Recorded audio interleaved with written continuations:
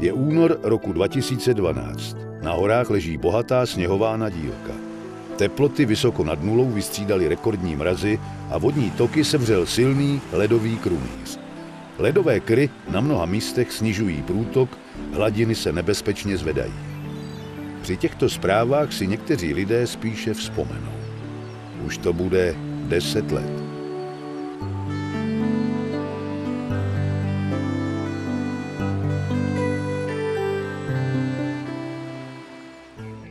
V srpnu 2002 zasáhla Českou republiku nejničivější živelní pohroma v její historii. Po vydatných deštích devastovali rozsáhlá území v povodí Vltavy a Labe katastrofální povodně. 14. srpna odstartovalo z Prahy, kde povodeň právě kulminovala, malé letadlo k inspekčnímu letu nad částí povodí Vltavy. Jedním z tragických symbolů povodní se stala obec Metly. Po protržení hráze rybníka srovnala několika metrová vlna se zemí polovinu domů. Jižní Čechy se zvolna probouzí ze zlého snu. Řeka tu kulminovala 13. srpna dopoledne. Města a obce v okolí Lužnice to nejhorší teprve čeká. Nejkritičtější chvíle ve své historii zažívá i Orlík, stěžejní dílo Vltavské kaskády. Povodeň na přítoku, který kulminoval 13. srpna, označili vodohospodáři za větší než tisíciletou. Vltava se spojí s Berounkou a promění okrajové části Prahy v jedno obrovské jezero. Povodňová vlna pokračuje k soutoku Slabem a přes sever Čech se převalí do Německa. Celkové škody v České republice a Německu činily více než 11 miliard eur. Přes všechnu tu hrůzu, kterou voda přinesla, se pozitivně projevily zkušenosti z povodně, která v roce 1997 zasáhla velkou část Moravy. Výrazně se to odrazilo na počtu obětí. V roce 1997 si povodeň vyžádala šest desítek lidských životů, v roce 2002 jen 19. Odrazem bezprostřední zkušenosti s velkými povodněmi je i celá řada významných legislativních opatření spadajících do období let 2000 až 2004. V červnu 2000 schválil parlament zákon o hasičském záchranném sboru České republiky. Byly přijaty i důležité zákony o krizovém řízení a integrovaném záchranném systému. Strategie ochrany před povodněmi formulovala další nezbytná opatření pro fungování konkrétních programů prevence.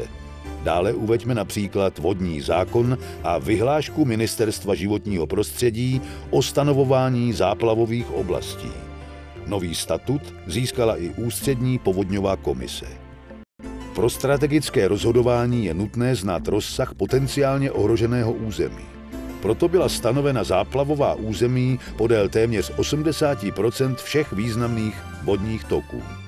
Český hydrometeorologický ústav ve spolupráci s podniky Povodí vyvinul moderní systémy včasného varování založené na aplikaci matematických modelů předpovědí. Výrazně se zvýšil počet monitorovacích stanic a byly zavedeny online systémy přenosu informací.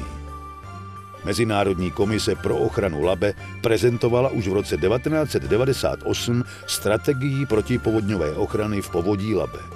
V roce 2003 pak akční plán povodňové ochrany v povodí Labe. Ministerstvem zemědělství byly založeny dotační tituly, které umožňují pokrývat náklady na potřebná opatření. V první etapě programu prevence před povodněmi bylo v letech 2002 až 2007 vybudováno 435 protipovodňových opatření za více než 4 miliardy korun. Ty ochrání více než 315 tisíc obyvatel a majetky v hodnotě více než 240 miliard korun. Na druhou etapu v letech 2007 až 2013 bylo naplánováno cirka 11 miliard korun. Připomeňme si alespoň krátce některá z dokončených či rozestavěných protipovodňových opatření. Největším protipovodňovým opatřením na území povodí Ohře je rekonstrukce bezpečnostního přelivu na vodním díle Nechranice na řece Ohři. Důležitý retenční prostor nádrže lze nyní výrazně zvětšit jejím předvypuštěním. Během prvních tří dnů umožní přeliv předvypustit až 18 milionů metrů kubických. Povodní bylo vážně zasaženo i město Terezín, ležící blízko soutoku Labe a Ohře. Předmětem rozsáhlé investice, zahájené na začátku roku 2012, bude mimo jiné i sanace a protipovodňová ochrana unikátní památkově chráněné velké pevnosti, založené Josefem II. už v roce 1780. V povodí Vltavy si nejdříve připomeňme unikátní rekonstrukce provedené v první zóně chráněné krajinné oblasti Třeboňsko. Nová řeka, Novořecké hráze a Novořecké splavy jsou historická díla z 16. století, která byla zřízena rožmberským regentem Jakubem Krčínem v souvislosti s výstavbou rybníka Rožmberg. Hráze byly na různých místech poškozeny jak při povodni 2002, tak při další povodni v roce 2006. I vodní dílo Římov na Malši bylo zasaženo srpnovou povodní. Přehrada nevyhověla posudku specializované firmy vykonávající technicko-bezpečnostní dohled na základě pověření ústředního vodoprávního orgánu. Projekt nápravných opatření byl vypracován na podkladě uvedeného posudku a hydraulického výzkumu na fyzikálním modelu. Vodní dílo Orlík pomohlo během povodně významně snížit kulminační průtok a oddálilo maximální odtok o 17 hodin. Přesně za rok přišlo extrémní sucho. Vltavská kaskáda dotovala tok Vltavy a zajišťovala potřebný minimální hygienický průtok. Těžko hledat lepší příklad dokumentující jak rozmary počasí, tak i často opomíjený význam vodních nádrží pro akumulaci vody pro případy sucha. V Praze napáchala povodeň škody za desítky miliard. Oproti normálu stoupla hladina Vltavy o téměř 7 metrů. Naštěstí už byla Praha částečně připravena. Na vlastní náklady začalo město v roce 1999 budovat systém protipovodňových opatření. První dokončené úseky zabránili daleko větším škodám. Protipovodňová ochrana Chocně v povodí Labe je názorným případem nutnosti systémového přístupu. Nejprve bylo nutné snížit kulminační průtoky vybudováním dvou soustav poldrů v horním povodí Tiché Orlice. Další retenční prostor byl získán rekonstrukcí rybníka Hvězda. Stoletý průtok bude tak transformován o cirka 20% Díky tomu mohla být nadzemní část ochrany Chocně koncipována jako plná zeď o výšce jen 110 cm.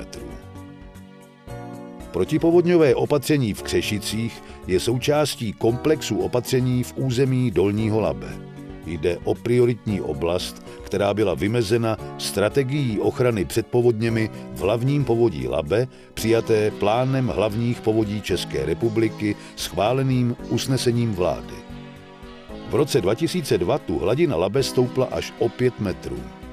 Vzhledem k prostorovým podmínkám byla ochrana obce navržena pomocí trvalých zdí a zídek. Jejich povrchová úprava byla provedena pomocí polyuretanových matric. Je třeba zdůraznit, že pevné zdi nechrání jen domy přímo u Labe, ale území o úctyhodné rozleze 145 hektarů. Pro vzdělávání, podporu rozhodování i obecnou informovanost je nezbytná jednotná prezentace informací z oblasti vod v gesci všech vodoprávních úřadů. Právě takové věrohodné informace poskytuje odborné i laické veřejnosti od roku 2005 informační systém Voda České republiky. Povodně jistě přijdou znovu. Jako přírodnímu fenoménu jim nelze zabránit. Lze však omezit jejich ničivé účinky a zejména zabránit škodám nejvyšším, ztrátám na lidských životech.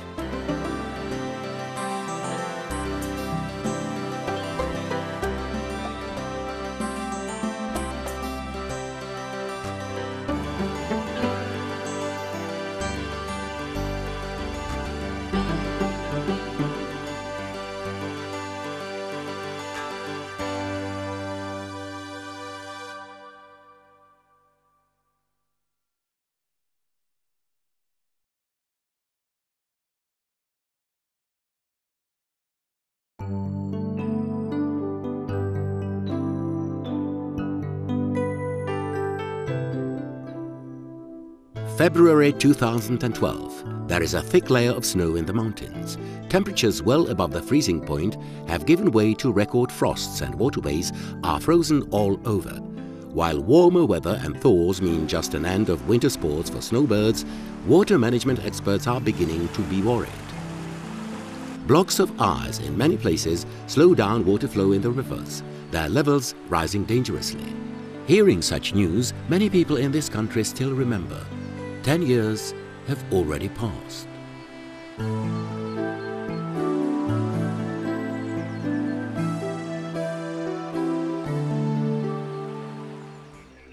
In August 2002, the Czech Republic was hit by the most devastating natural disaster in its entire history. Following heavy downpours, vast areas of the Vltava and Elbe river basins were devastated by catastrophic floods. A small airplane took off from Prague for an inspection flight over part of the Vltava river basin on August the 14th, the day when the flood culminated. One of the tragic symbols of the floods was the village of Metli, after local pond dam failure, a flood wave several meters high raised half of the houses in the village to the ground. South Bohemia is slowly waking up from a nightmare. The high water culminated here in the morning of August the 13th. But the worst flood wave was still to come to the towns and villages along the Lužnice. The overall situation was aggravated by overfilled ponds. The Orlík Dam, the key element of the Vltava Cascade, is also coming through the most critical moments in its history. The flood on a tributary, which culminated on August the 13th, was classified by water management experts as exceeding a thousand-year high water. Over 3,000 cubic meters of water per second kept thundering down the 90-meter-high dam.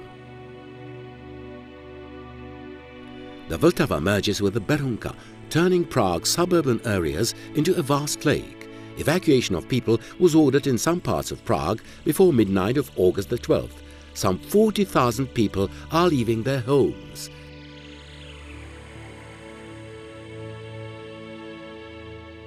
Flood wave surges on towards the confluence with the Elbe and through northern Bohemia to Germany. Vast areas on the middle and lower reaches of the Elbe are flooded. The overall damage in the Czech Republic and Germany accounted for more than 11 billion euro. Despite all the horrors caused by the high water, the lessons learned from the flood that hit a large part of Moravia in 1997 proved to have a positive impact.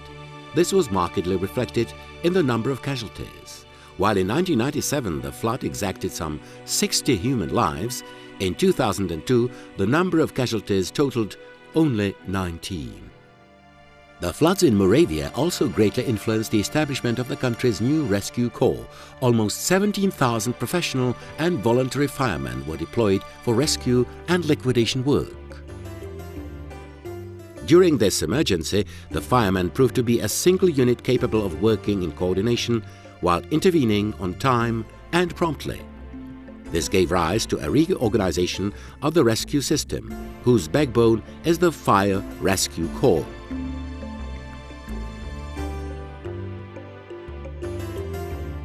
In June 2000, the Parliament approved an act on the Fire Rescue Corps of the Czech Republic and passed other major laws, namely on crisis management and integrated rescue system. A professional rescue corps with a new structure, mission, jurisdiction, powers and tasks was established when the legislation came into effect on January 1, 2001. Since then, it has become a solid mainstay of the Czech Republic's security system. The immediate response to the big floods came in a number of other major legislative measures enacted in the years 2000 to 2004. The strategy for protection against floods spells out other vital measures and creates a framework for defining specific prevention programs. Mention should also be made of the Water Act, as later amended, and the decree of the Ministry of the Environment defining flood areas. It is vital to identify the actual scope of the territory potentially threatened by flooding for strategic decision-making on the implementation and extent of flood protection measures. That is why flood-prone areas have been identified along almost 80% of the length of major watercourses. In conjunction with the Czech Hydrometeorological Institute, The individual river boards have devised advanced early warning systems based on applications of mathematical forecasting models. The number of monitoring or gauge stations has been substantially increased and online data transfer systems introduced.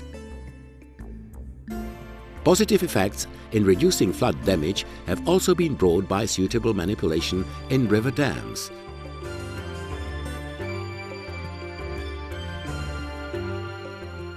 The territory of the Czech Republic is a major European watershed. As a result, flood protection has a distinct international impact and is part of the activities of the international commissions established pursuant to interstate agreements. The International Commission for Protection of the River Elbe unveiled already in 1998 its strategy of flood protection in the Elbe River Basin. This was followed in 2003 by the Action Plan of Flood Protection in the River Elbe Basin.